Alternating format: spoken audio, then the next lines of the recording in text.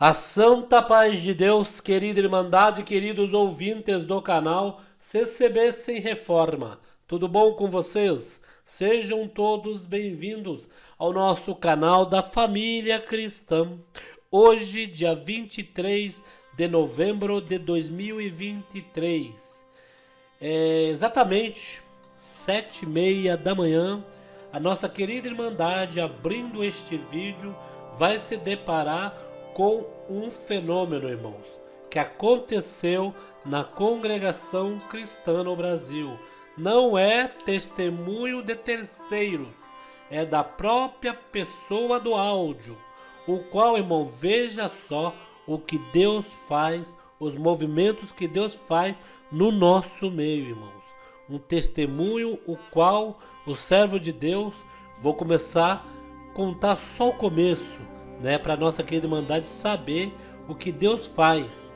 Quando ele manda alguém fazer algo, ele recomenda.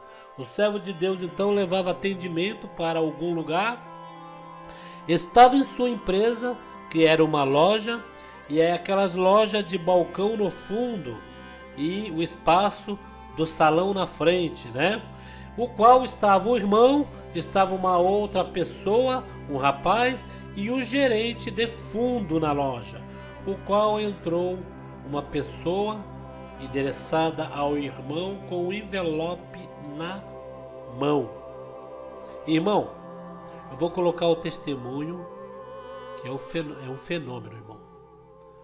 É um milagre da parte de Deus e para aqueles em que não acredita que anjo existe, aqui vai este lindo testemunho para nossa querida Irmandade, apreciadores da obra de Deus e almas testemunhadas. Sabendo, irmãos, o que, o que nós colocamos aqui no canal é para aumentar a fé da nossa querida Irmandade. Não faz mal, irmão, não faz mal se vier pessoas ah, com má intenção ouvir esse áudio e falar em seus canais que isso é fake news, que isso é mentira, né, irmãos?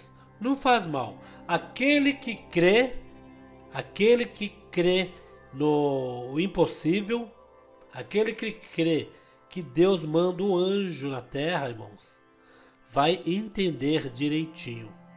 Porque tem muitos, irmãos, em que não acredita que anjo existe. Mas eu vou ler uma parte aqui antes de vocês ouvir esses testemunhos, irmão, que é para aumentar a fé, é para quem crê, é forte esse testemunho que vocês vão ver. Eu vou ler uma parte aqui na Bíblia certificando que anjo existe e está na Bíblia. Começando por Jacó, que luta com o anjo, que o anjo simbolizava o próprio Deus. Isso mesmo. Olha só, eu vou dar uma lida aqui rapidinho para querida Irmandade ter a base mais ou menos que está na Bíblia que anjo existe. Então, logo os testemunhos contados de anjo, irmãos, logicamente, né? Tem aqueles que criam. Eu já contei esse testemunho para alguns irmãos e falei, irmão, o irmão crê. O irmão falou assim: Claro que eu creio. Esse Deus é maravilhoso. Esse Deus surpreende. Eu vou só ler, irmão, uma parte dessa parte que está na Bíblia que Jacó luta com o anjo. Vamos ler rapidinho.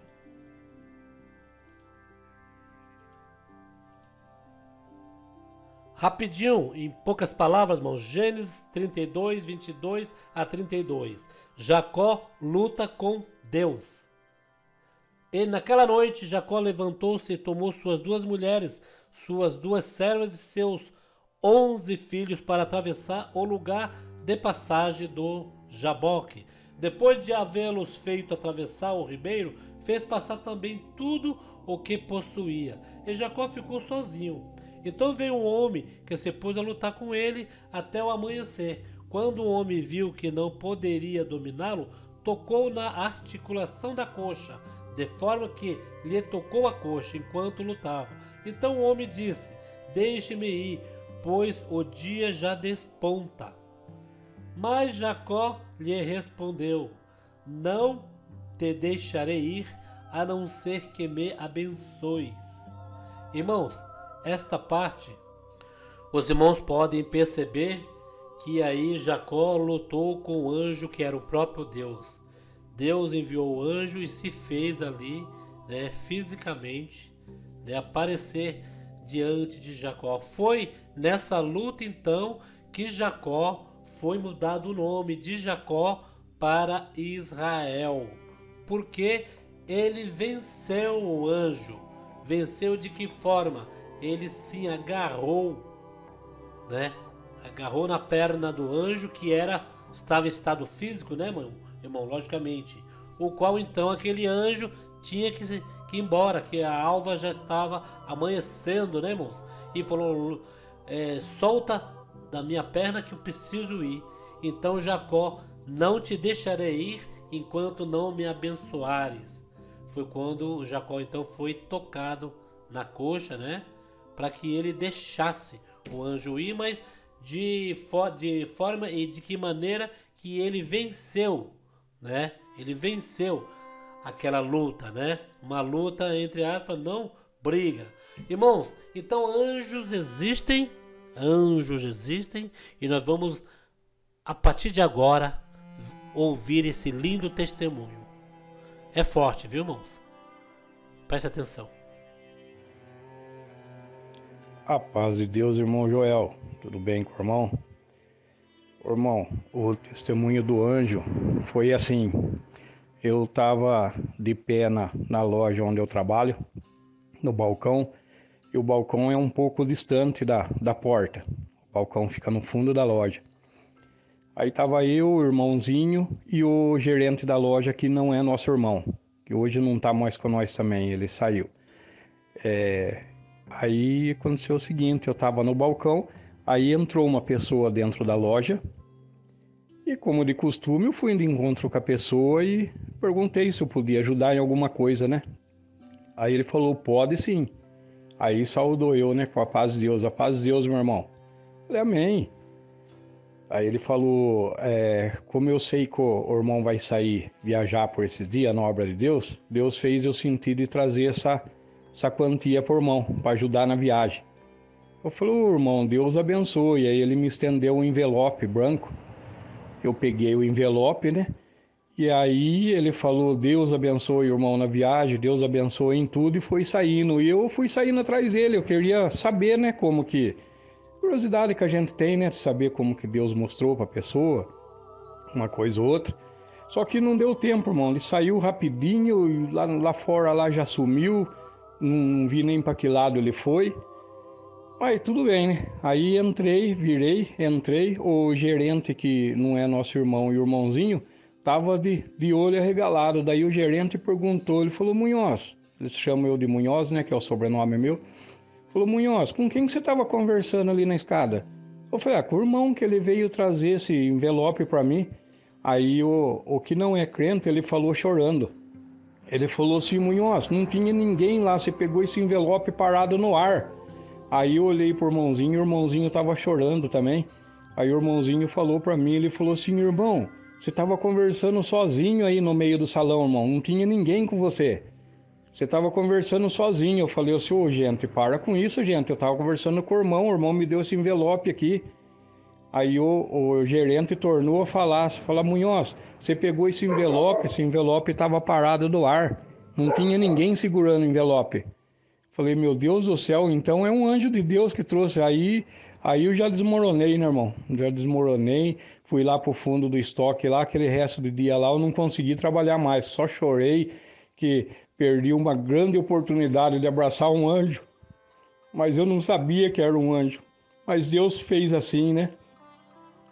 E aí a hora que eu abri o envelope, irmão, tinha cinco notas de 100 novinha, novinha. As notas tava quente, irmão. Tava quente. As notas era tudo sequencial, os números, tudo na sequência. As notas tava quentinha, quentinha. Aí que, que caiu a ficha, né, irmão? Falei, meu Deus do céu, um anjo e eu não, não nem peguei na mão do anjo. Nem peguei na mão do anjo. Oh, aí não parou por aí, irmão. Aí uns dias depois eu fui na matriz da loja nossa, aquela em São Pedro, Aí eu comentei com o dono da loja, né? O dono da loja ele é espírita, ele não, não é irmão nosso. Eu comentei com ele e falou: sabia que entrou um anjo dentro da sua loja esses dias? Ele falou: Como assim? O Du comentou alguma coisa comigo lá, mas eu não entendi. Aí eu expliquei, contei tudo para ele, né? Ele falou: Eu vou lá ver nas câmeras.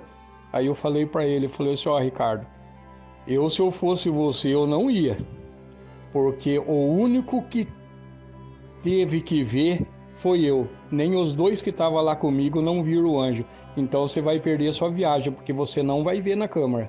Não, porque eu vou lá, porque a câmera gravou tudo. Tem cinco câmeras ali na loja, irmão. Cinco câmeras na loja e dois no estoque. Duas câmeras no estoque. Aí eu tava com o carro da loja lá.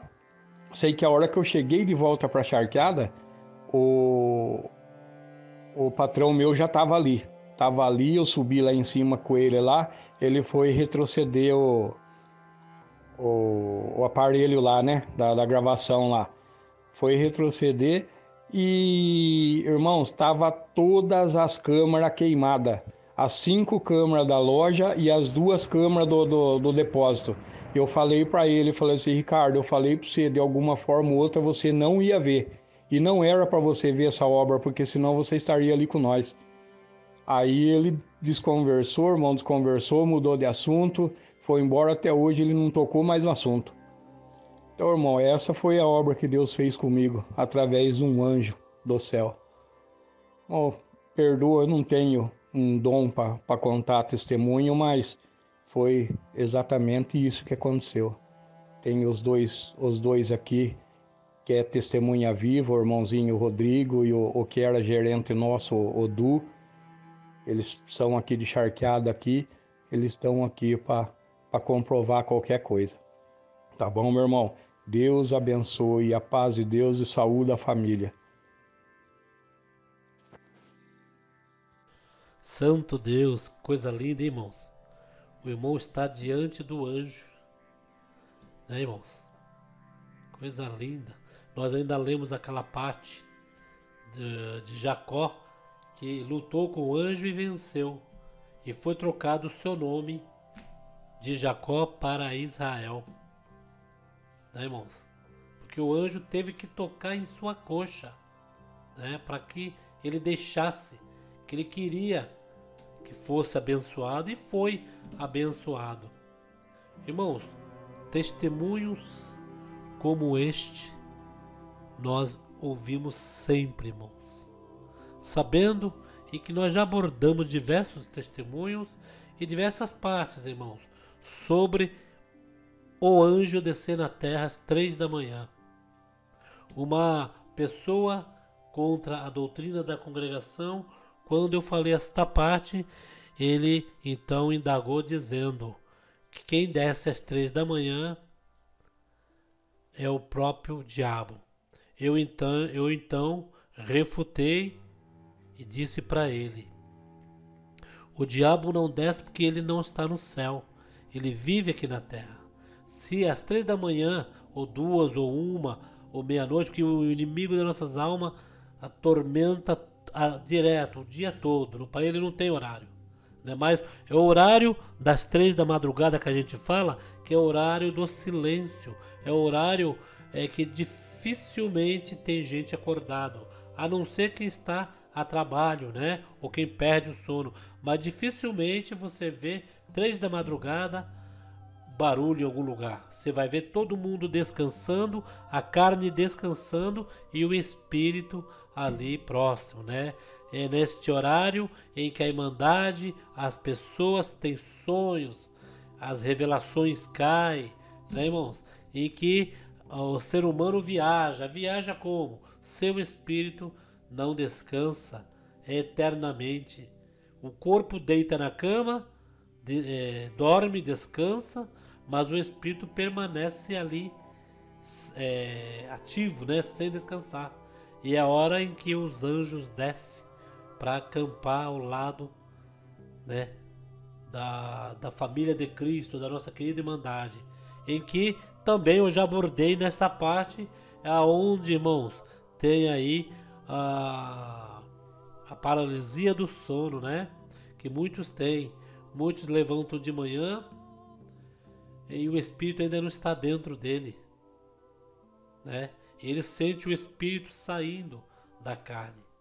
E quando, irmãos, é, ele percebe em que ele acordou, mas o espírito não está ali totalmente. É onde entra a paralisia do sono, dele estar acordado e não se mover. E algo estranho ao redor, é tipo medo, né, irmãos? Tipo alguma coisa vai acontecer. É uma sensação horrível que só quem teve, irmãos, sabe explicar. Então, três horas da manhã, horário dos anjos descerem na terra, pelo motivo de estar todo mundo dormindo, a carne descansando. E a paralisia do sono também. E esse testemunho lindo, um testemunho maravilhoso. Compartilhe, querido. Compartilhe nas suas redes sociais, WhatsApp e Facebook, tá bom? Deus abençoe a todos grandemente e tenha uma ótima quinta-feira abençoada por Deus. Deixa seus pedidos de orações aqui nos comentários também para esses irmãos que estão atribulados, né, irmãos, angustiados, porque três pregações que eu coloquei aqui, é, Deus deu na boca dos servos de Deus, que tem lá em que o inimigo estava cirandando e que Deus iria colocar por sete caminhos. Então, fiquem todos na santa paz de Deus e no grato amor de Cristo Jesus. Compartilhem.